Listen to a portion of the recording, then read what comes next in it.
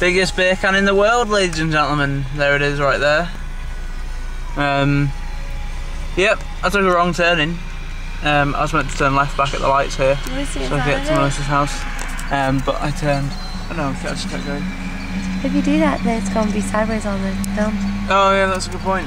Thank you. there we go. World's biggest Hold on, beer hold on. can. That's how big it is. I no, that, hold no, it. that makes it look smaller. I try to hold it. Um, oh, are you? Okay. Right, other hand. I'm holding it. Left. Left. Left. Uh, right a little bit. Tuck your thumb in.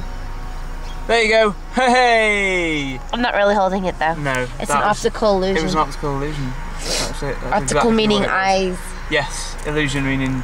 not illusion. really there. And then there's a big silo next to it that they didn't paint.